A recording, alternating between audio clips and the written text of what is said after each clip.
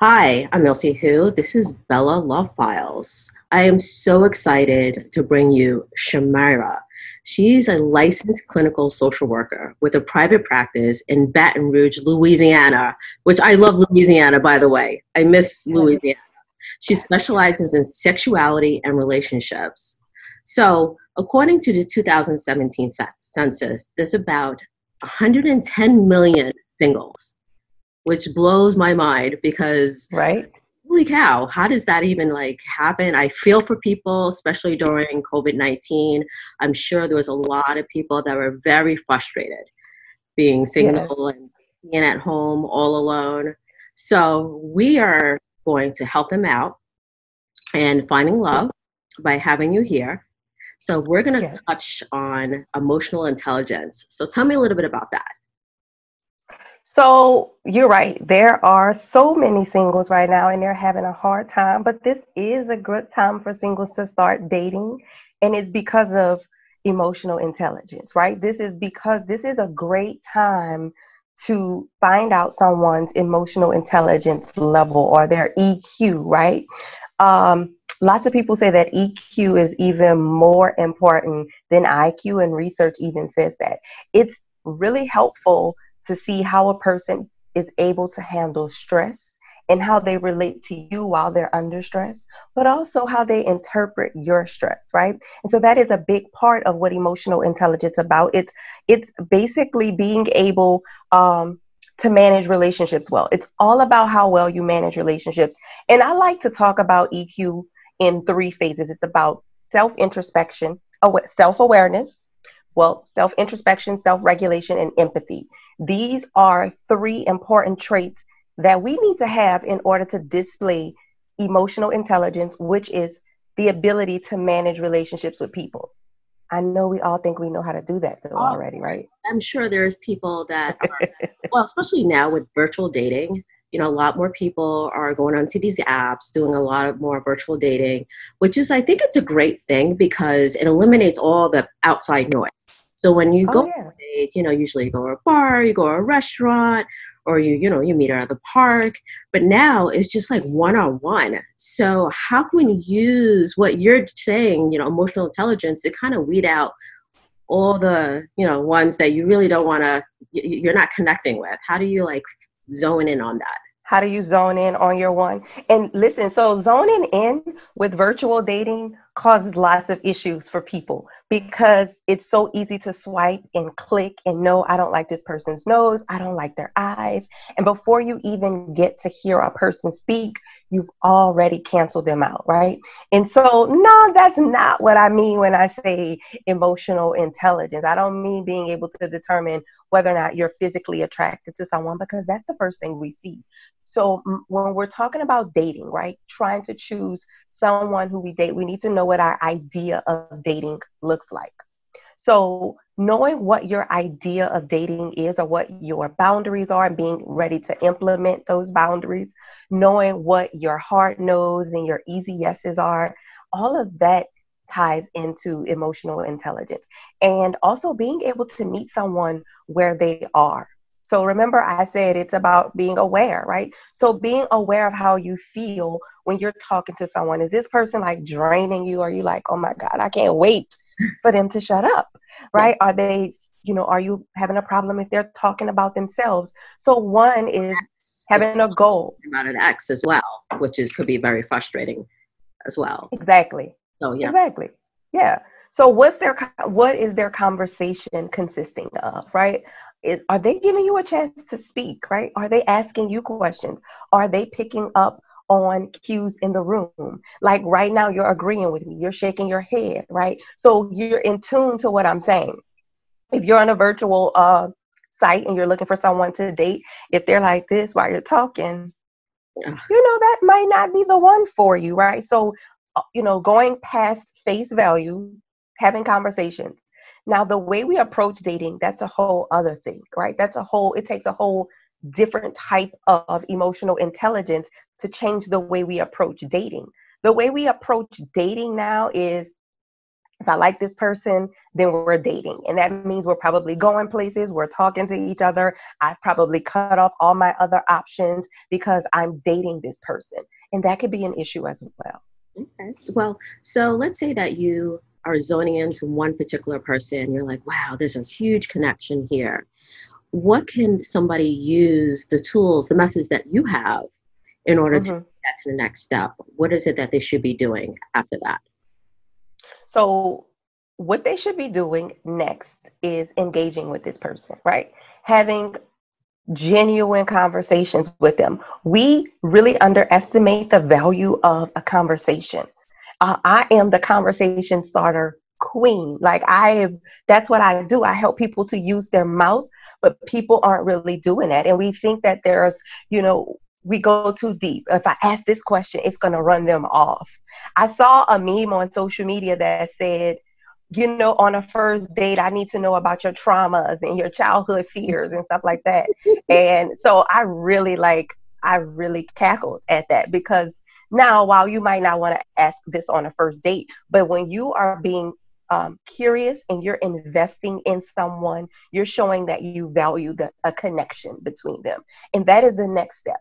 How are you going to put in value into this person to even allow them to see that you are invested in creating a connection with them. Mm-hmm. So the very next step is going right in with your conversations like what saying things about you asking them very pertinent questions about them. The number one question to ask at this phase is what are your goals for dating? And it's important to know this right? If we're talking about emotional intelligence you need to know that you're emotionally available to nurture a relationship if you just got out of a relationship, this might not be a good time for you to date exclusively.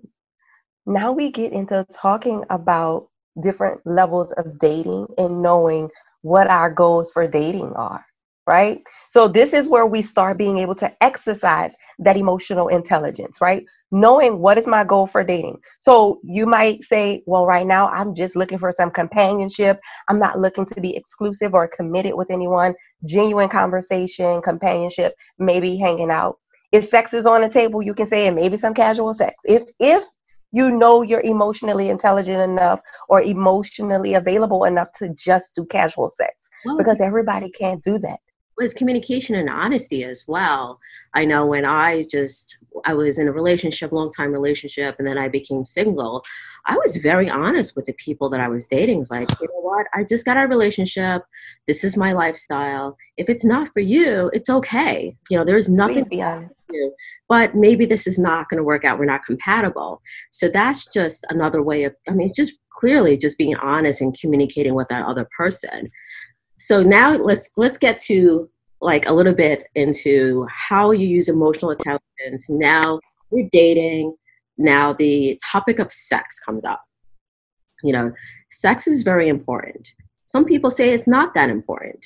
Mm-hmm. what is your thoughts about that in relationship so if we're talking about now we're dating, we realize that we went through the pre-dating phase. We both have the same goals for dating. We're now exclusive. We've gone we're courting each other. I don't do people still say courting?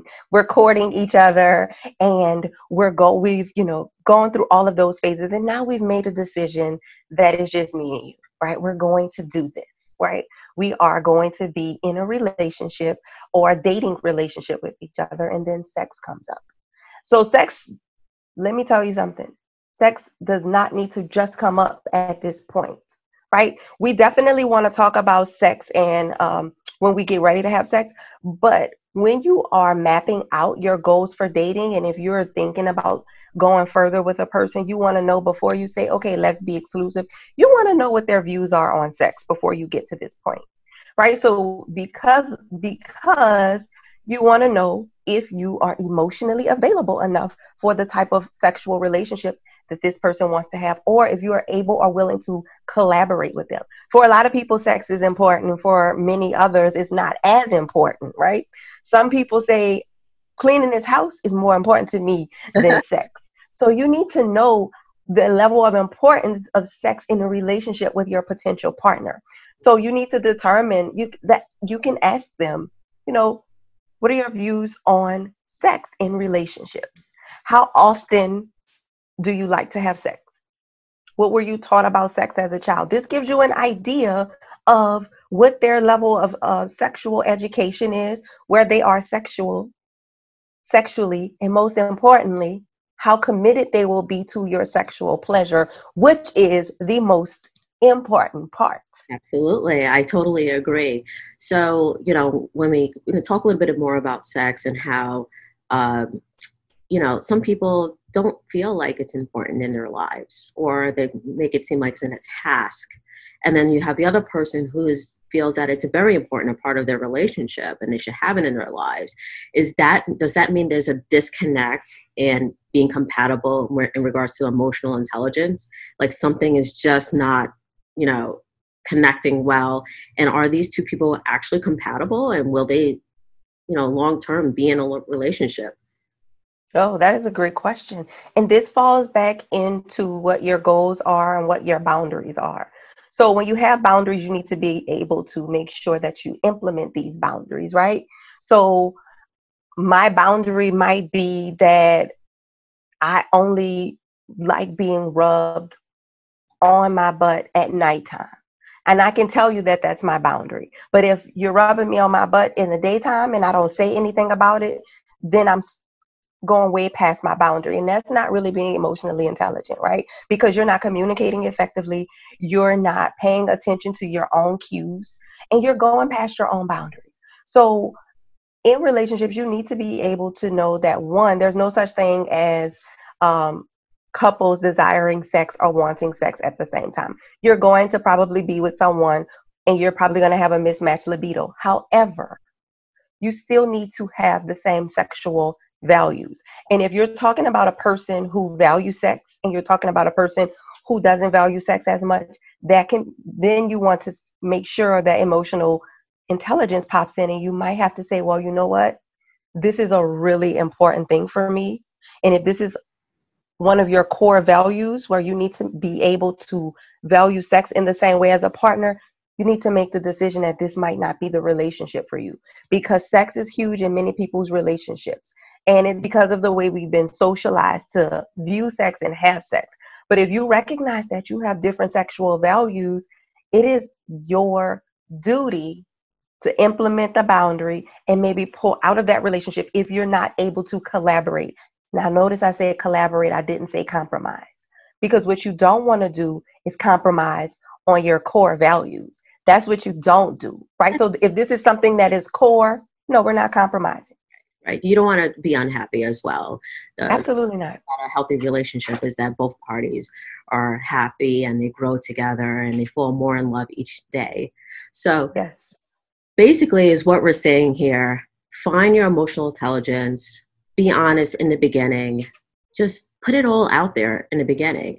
The worst thing in the beginning is that you find out that you're not compatible with that person, and then you move on because how many single people we have in the U.S. 110 million single million. Yes, plenty of single people out there. Plenty. Plenty. I didn't even know that. Uh, that. That just blows my mind. So, where can people find you for help?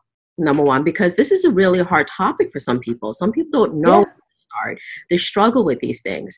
So, I want to make sure mm-hmm people find you online and you know if you have any books out there that they could read as well so tell us a little bit about that so i i was uh, named one of the most influential dating experts of 2019 by Datesy, yes and i created a dating guide that specifically it's called dating in 2019 and beyond so it's basically about how to navigate dating so you can get that on my website on the green couch and you can sign up for my free guide for simple communication. If you go to onthegreencouch.com, you sign up for the free guide for simple communication and get the dating guide to help you structure how you want to date. Um, I'm also an Amazon number one best-selling book. I told you that I'm a conversation starter and I help couples use their mouth.